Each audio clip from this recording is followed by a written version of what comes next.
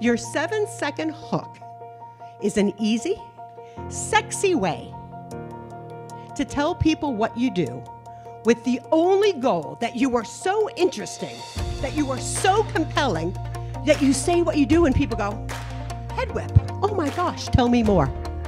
It is the beginning to start a conversation and a connection. And even as an employee, I believe that there's value in that personal brand in your seven second hook, right? Because if people don't remember you, how the heck are they going to refer you? If they can't remember you, how are they going to promote you? And don't say I said this, but if they don't remember you, how are they going to recruit you? Right? This is the power of a really, really great seven second hook.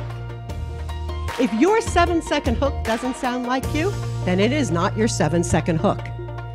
If you have this really great, clever seven second hook, but it sounds artificial, kick that one to the curb.